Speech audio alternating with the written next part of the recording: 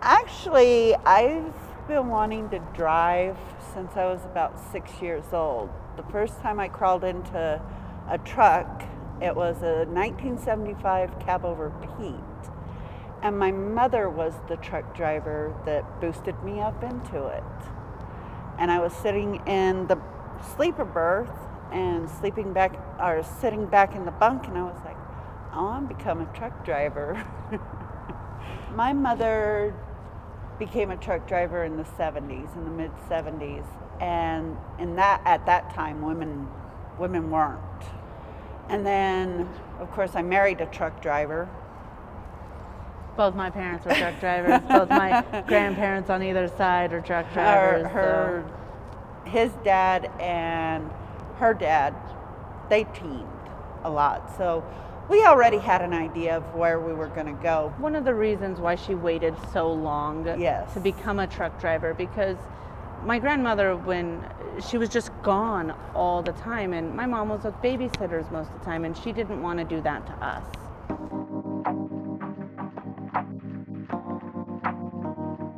We already had an idea. We had a bedrock foundation of, you know, this is what the industry is about I decided not to become a truck driver until my daughters were older.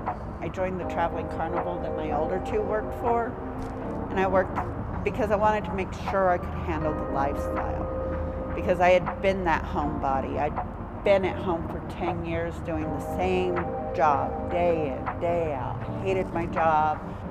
So, got my CDL, joined with Knight. Here I am. She's been driving five years. I've been driving four and a half. That half a year makes a world of difference in case if you were wondering.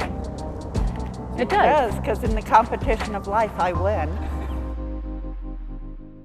I just, it was so, I was burning out so hard. And mom, she was like, well, I'm going to get my CDL license. She's like, we could team together and we could both make more money.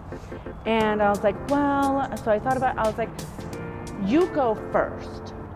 So they supported, my girls supported me while I went to school. And then when I got out of school, I was helping support them more. Driving with my daughter. it was atrocious. Feet stink. Having her come into the truck with me after being solo there for a little bit for myself, it we were co-workers at certain points of the day. Then we were mother-daughter interactions. So we, we knew how to separate that.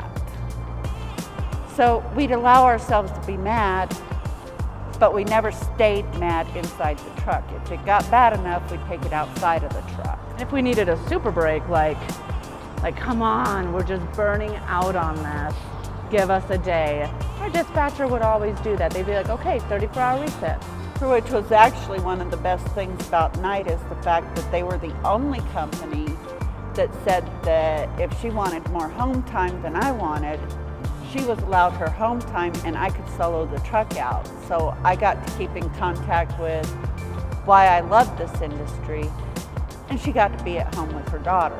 I have a dog. He is a husky. He is a Siberian and Malamute mix. And I got him from the pound about a year and a half ago. Having him on the truck with me, even though it's a smaller space, he gets more interaction and more exercise than he would if I lived in a city and worked a nine to five and lived in an apartment. So being a trainer, sitting in that seat, you know, after I know that my trainee's good with the driving and handling and stuff like that on the long stretches, I'll break out my sewing um, I do, I have a project that I've been working on for a couple of years. It's a quilt for my oldest granddaughter. I also do operation caps.